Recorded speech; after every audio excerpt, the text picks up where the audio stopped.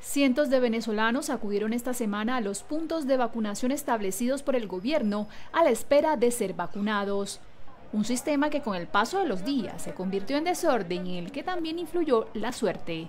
Las colas se pierden de vista en muchos de los lugares adaptados para la inmunización, donde llueven las quejas por las horas de espera debido a que muchos acuden sin cita por el apremio de ser vacunados, como Jesús Omar Carrero, de 50 años, que esperaba para vacunarse pese a no haber sido convocado.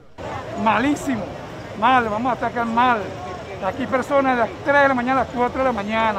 Aquí hay, aquí hay personas, hay como 500 personas que tenemos que tener la patria. Salimos hoy y no la ha atendido a ninguno. Y eso es pura mentira.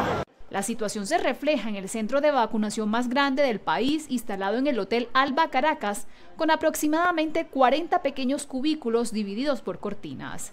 Aquí, dentro del hotel, todo parece ser más ordenado. Bajo las suntuosas lámparas en los pequeños cubículos, las personas, casi en automático, sostienen las mangas de sus camisas para dejar que la aguja entre.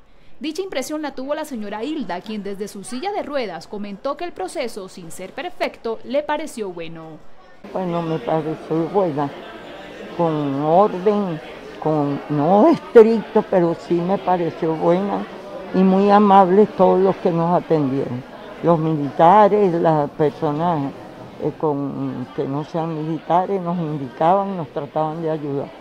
Todo esto en medio de una virulenta segunda ola que hasta este viernes acumulaba 239.252 casos en Venezuela.